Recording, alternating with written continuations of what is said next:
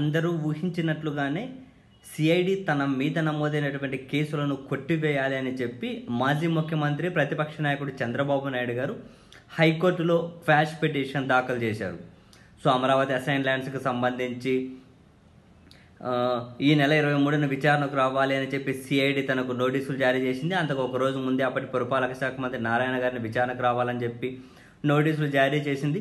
దీనికి సంబంధించిన ఏమైనా ఇన్ఫర్మేషన్ ఉంటే ఈరోజు సిఐడి కార్యాలయానికి వచ్చి ఇవ్వమని చెప్పి వైసీపీ ఎమ్మెల్యే ఆల రామకృష్ణారెడ్డి గారికి నోటీసులు అనేది జారీ చేసింది.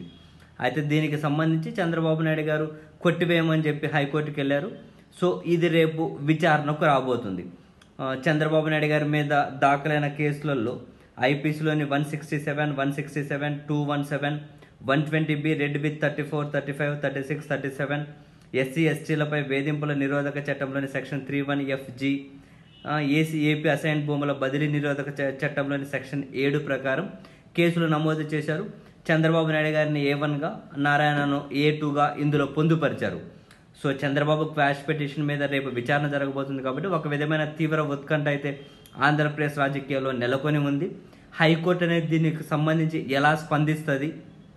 హైకోర్టు తీర్పు వచ్చిన తర్వాత ఏ పార్టీకి అయితే వ్యతిరేకంగా పార్టీ అంటే ఇటు ప్రభుత్వం ప్లస్ చంద్రబాబు నాయుడు గారు. ఇద్దరిలో ఏ పార్టీకి వ్యతిరేకంగా అయితే తీర్పు వస్తే వాళ్ళు ఖచ్చితంగా అప్పర్ కోర్టుకి వెళ్తారు. అవి ఎలా స్పందిస్తారు అన్నది కీలకం. మొత్తం మీద అయితే రాబోయే నాలుగైదు రోజులను నాలుగైదు రోజులు ఆంధ్రప్రదేశ్ రాజకీయాలను అయితే కోర్టులు శాసించే సూచనలు అయితే చాలా స్పష్టంగా కనిపిస్తూ ఉన్నాయి. చూద్దాం ఏం జరుగుతుందో.